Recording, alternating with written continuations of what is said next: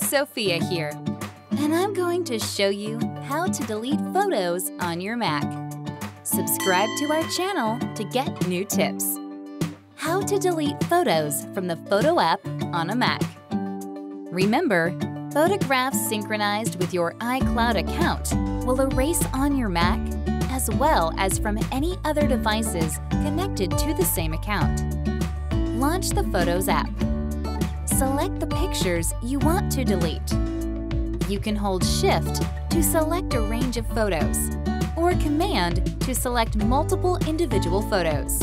Right-click on the selected images, then select Delete, and confirm the action.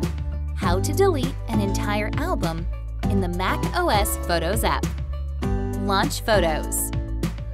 Choose the album you want to erase right-click on it, then select Delete Album.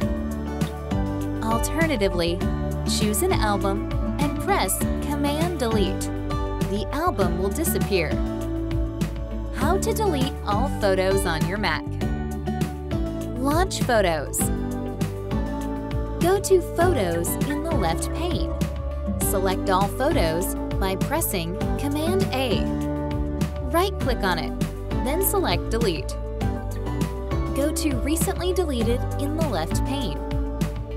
Click Delete All at the upper right corner of the window and confirm removing to delete them forever. How to recover deleted pictures in the macOS Photos library. If you delete some of your photos by accident, you have 30 days to recover them before they'll be gone forever.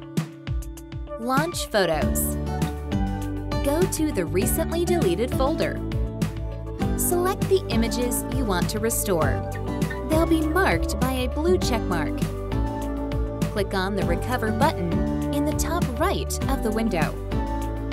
Removing duplicate photos with MacKeeper. Manually deleting all the photos on your Mac is a mind-numbingly dull and time-consuming process. To save yourself this pain, MacKeeper can easily find and delete duplicate photos from your Mac in a matter of minutes. To delete duplicate photos, launch MacKeeper. From the menu on the left, select Duplicates Finder.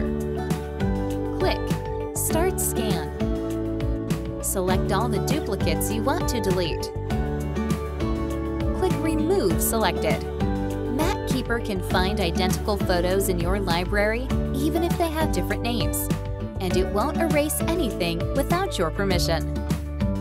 If you need a little expert help, contact MacKeeper support team. I'm Sophia from MacKeeper, and thanks for watching.